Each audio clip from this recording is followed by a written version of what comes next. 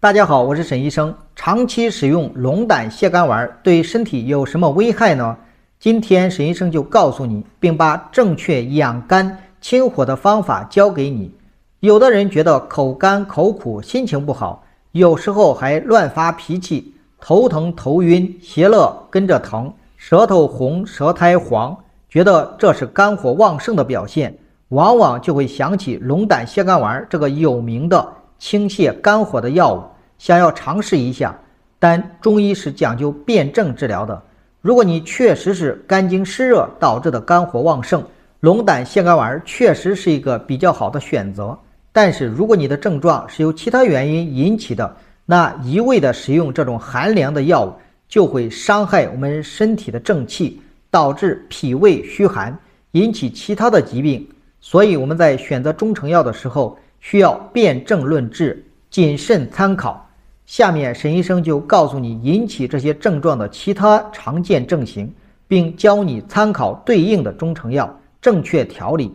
如果你在口干口苦、脾气暴躁的同时，还容易出黄色的汗，多在腋下和大腿根部，可以把浅色的衣服染黄，有时候还会耳鸣，觉得耳朵嗡嗡响，这个时候就是肝胆湿热。参考龙胆泻肝丸来清泻肝火是比较正确的。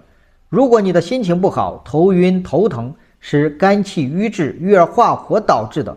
平时还经常唉声叹气，心情压抑，总是想哭。心情不好的时候，就会觉得胸口闷得慌、胁肋疼。这个时候，我们可以参考一个丹栀逍遥丸来疏肝解郁、清泻瘀火。